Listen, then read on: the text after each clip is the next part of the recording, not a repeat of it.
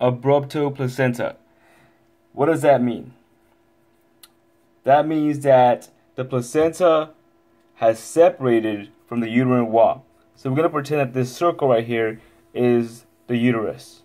This right here is the cervix, the entrance to the uterus. And a abrupto placenta or placenta eruption, abruption, uh, you might hear it two different ways, but I'm going to call it abrupto placenta. What happens is that it's just what it sounds like. The placenta ruptures, or you can say it tears away from the uterine wall. You have a full separation of the placenta from the uterine wall, or you have a partial separation. See where just like a little pocket separates. This is not that big of a deal, but it can turn into this, and this is a big deal. So, what's going to cause this, and what does this mean for the baby? So, a few things can, can make abrupto placenta occur. One is hypertension. Uh, that one is a possibility, but an EMS, the one you'll come across uh, more, is trauma. So if your patient has fallen down the stairs, they were in a pretty bad car accident, that movement uh, will cause the placenta to actually tear. That is a possibility. Also, you hear that drugs like cocaine, cigarettes, that also causes, could cause uh, abrupto placenta, but that's more for test purposes.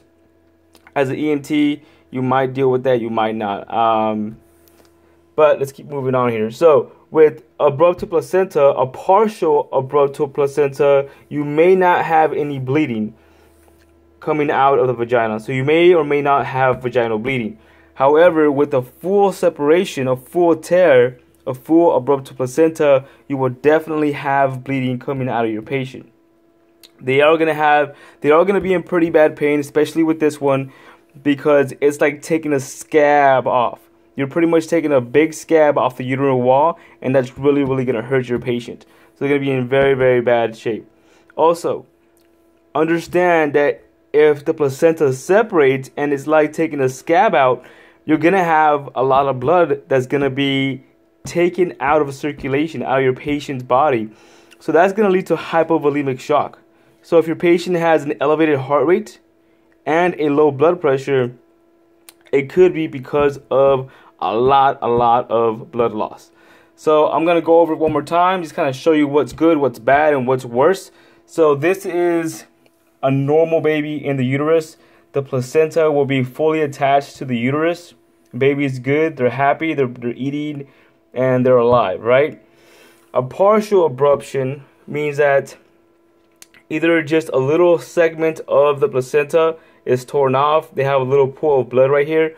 Um, this may or may not be a big deal. It's it really becomes a big deal when it turns into this. When the blood pulls up and a lot of pressure is built. If enough pressure is built behind these pockets, it could tear the entire thing off.